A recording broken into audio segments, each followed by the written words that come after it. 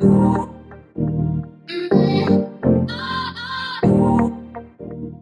back to the Last Digit. Today I'm going to show you how to open and keep open the exhaust valve on the BMW G20 series, so the 330i and the M340i 2019 and up. So here's the valve, and to get going, I want to show you under, there's a controller here connected straight to the exhaust, so that controls the valve, opens and closes it. for about 30 seconds to a minute depending on what the temperature of the car is now you see here it opens. So once it opens, just leave it. Now we're going to unplug the controller.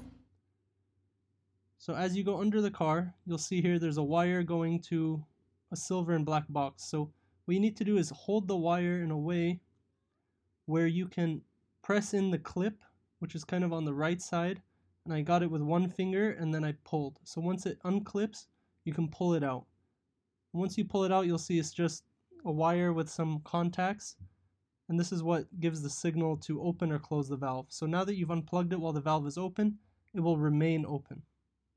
And that's really important so when you start up now, it's a lot louder and deeper sounding and it does backfire at low speeds now, low RPMs.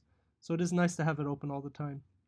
One thing to keep in mind is you don't want moisture entering this wire, so you don't want to leave it hanging like that. So someone told me on Instagram you should tape it, so I figured I'll tape it. So all I had to do was get a piece of tape, I taped the contacts shut, and then I taped it to a piece uh, that is connected to the frame so that no matter what I'm doing, it should remain semi-hidden and stable, so it shouldn't be uh, flapping around or hitting anything on the road. So once I made sure it was secure, I just pushed on the tape a little bit, made sure it was sticking well. And as you can see here, it's fairly solid, so I don't think it'll be going anywhere, but I'll check back on it in a few days. So looking back inside of the exhaust, I'm going to turn the car off, and you'll see that the valve stays open finally. That's it.